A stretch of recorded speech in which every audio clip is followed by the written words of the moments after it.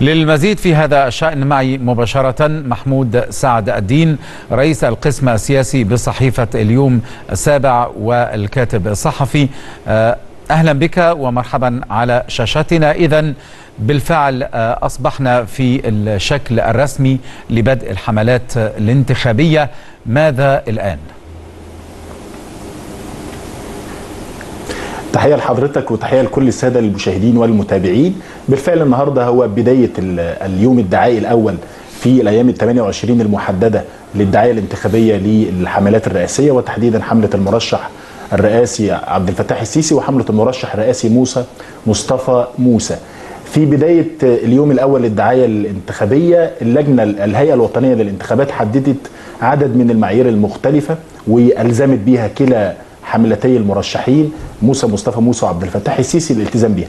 كان أبرز ما جاء بالالتزامات أو الضوابط اللي وضعتها الهيئة الوطنية للانتخابات هي عدم استخدام الشعارات الدينية، عدم استخدام أي شعارات أو أو أو أو أعمال تؤدي إلى العنف أو تهديد السلام والأمن الوطني، وكذلك عدم قيام أي موظف في الدولة أو أي شخصية سياسية تعمل بأي وظيفة في الدولة أن تدلي بأي تصريح لكلا المرشحين، وعدم استخدام أي من الحملتين حملة كلا المرشحين للمرافق النقل العامه أو أجهزة الدولة المختلفة أو حتى المؤسسات الحكومية بالدولة في عمليات الدعاية الانتخابية.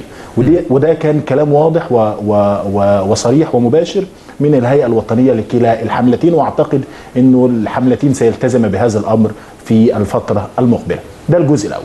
الجزء الثاني إنه في نفس السياق الهيئة الوطنية للانتخابات أعلنت عن ما يعرف بلجنة رصد العملية الانتخابية أو الدعاية الانتخابية م. دي تم تشكيل لجنة في كل محافظة من المحافظات المختلفة وبتضم عضويتها عضو من الجهاز المركزي للمحاسبات وعضو من النيابة الإدارية واثنين أعضاء من مصلحة قطاع الخبراء بوزارة العدل وهذا التشكيل في كل محافظة من المحافظات سيتولى مراقبة الدعاية الانتخابية مراقبة الأداء الإعلامي لكل مرشح من المرشحين ولكل حملة من الحملات المختلفة الحملات الجزئية حتى اللي موجوده في المحافظات وسيتم رفع تقرير أولي أعتقد ممكن يكون بشبه يومي أو شبه أسبوعي أو حتى نصف أسبوعي للهيئة الوطنية للانتخابات لاتخاذ اللازم إذا ما كان هناك أي خروقات أو لكن اي مخالفات. ألا ألا ألا ألم أليس في ضمن تشكيل اللجنة أحد الإعلاميين أو هناك لجنة عليا سوف يكون فيها إعلاميون؟ هل نما إلى علمك ذلك؟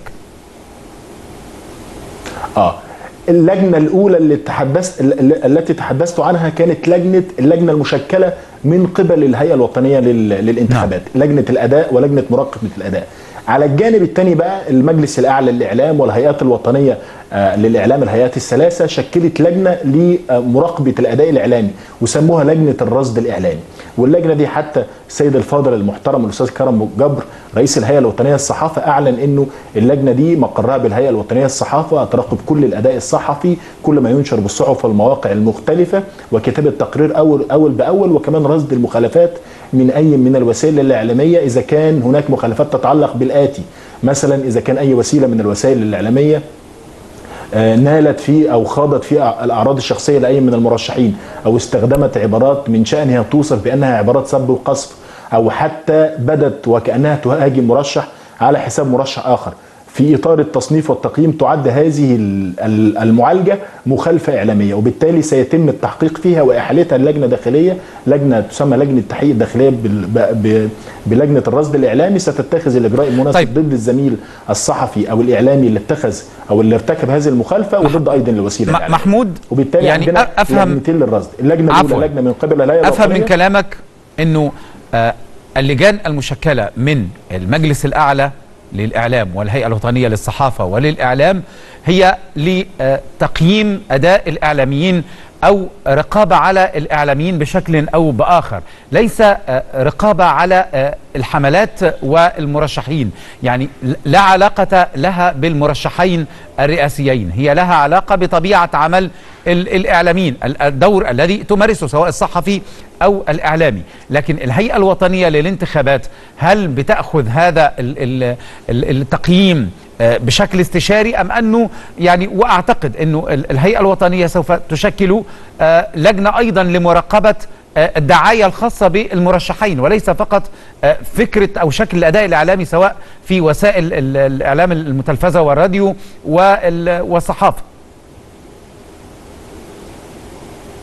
بالضبط هذا هو التوصيف الصحيح والواقعي.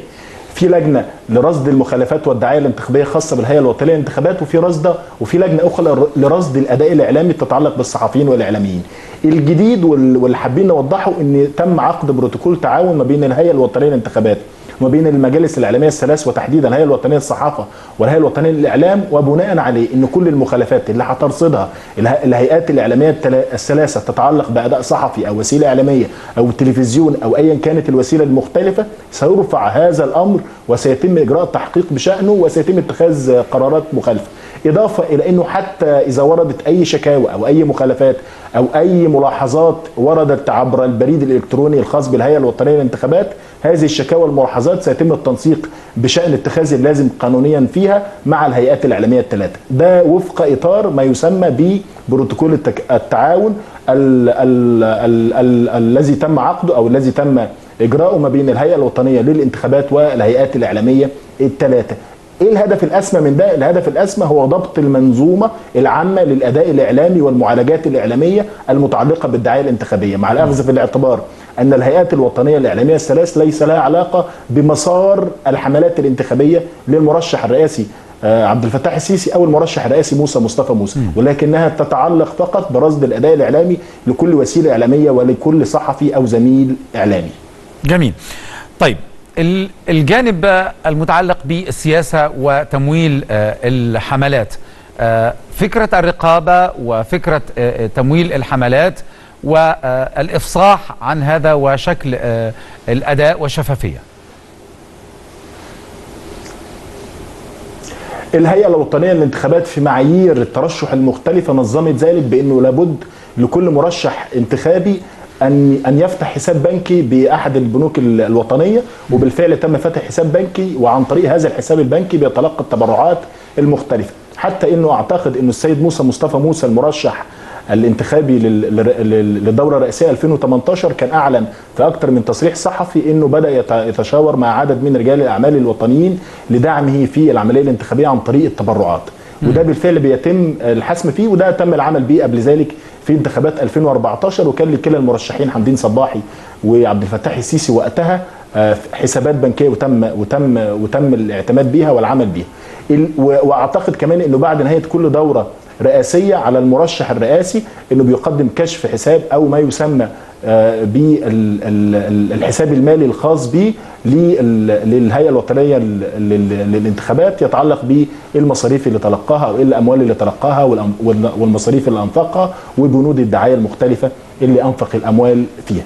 ده على جانب، الجانب الثاني أنا حابب بس أفيد حضرتك فضل. خبريا إنه النشاط بدأ يتحرك على أرض الواقع فيما يتعلق بالحملة الانتخابية للرئيس عبد الفتاح السيسي في مقرين للحملة كلا المقرين موجودين في منطقة التجمع الخامس. مقر بيكون محل عمل الدكتور محمد بهاء أبو شقه المتحدث الرسمي باسم الحملة والسفير كريم محمود القيادي بالحملة ومقر آخر للأعمال التنظيمية والإدارية.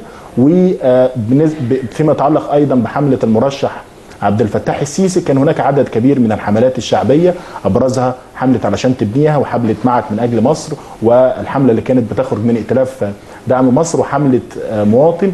كلا الحملات تم إدراجها تحت العنوان الأكبر والأهم هو الحملة الرسمية وتم التنسيق فيما بينها وتم تحديد القائمين على إدارة الحملات أيضا في الخارج بالنسبة للجاليات المصرية في الخارج. وأعتقد إنه هيبقى في خريطة زمنية أو خريطة جغرافية تتعلق بالمؤتمرات التي ستعقد الخاصة بحملة المرشح عبد الفتاح السيسي في الفترة المقبلة. وأعتقد بدأ منها النهاردة يعني مثلا على سبيل المثال حزب المصريين الأحرار أعلن عن حملة حملة تعرف بحملة طرق الأبواب. وحزب حزب حماة وطن كان أعلن قبل أسبوع عن حملة أخرى في المحافظات وتحديدا في محافظات الصعيد لحملات التوعية. حزب الوفد أعلن إنه هيعمل هيعمل دعاية كبيرة بالصحف والفضائيات المختلفة للتوعية. ده جانب مهم أيضا من جوانب الرصد والمتابعة الخبرية اولا بأول للتفاصيل المختلفة الخاصة بحملة الرئيس أو عبد الفتاح السيسي. على الجانب الثاني بقى حملة موسى مصطفى موسى. النهارده في عدد كبير من أعضاء حملة موسى مصطفى موسى بمقره بوسط القاهرة وأعتقد هيكون ليه مؤتمر النهارده سيعلن فيه عن خريطة الدعاية الانتخابية. حتى الآن موسى مصطفى موسى بيحدد عبارة واحدة في كل التصريحات الإعلامية اللي بيتحدث فيها إنه يرفض التصويت العقابي أو يرفض أي تصويت من قبل الجماعات أو من قبل المنتمين لأي جماعة إرهابية. تحديدا جماعة الإخوان المسلمين الإرهابية وكمان بيرفض دعوات المقاطعة وبيحث المصريين على المشاركات الفعالة. أنا بس في خبر برضو حابب ألفت النظر حضرتك ونظر كل السادة المشاهدين اللي بيتابعونا من شوية اكتشفنا إنه من بين القرارات المهمة اللي أصدرتها الهيئة الوطنية للانتخابات كان قرار يتعلق بجمعية السادات للتنمية وهي الجمعية التابعة أو التي يترأس مجلس إدارتها النائب الساقط عضويته محمد أنور السادات واللافت انه محمد أنور السادات كان قدم تقدم بطلب رسمي للهيئة الوطنية م. للانتخابات لكي يشرف على العملية طيب. الانتخابية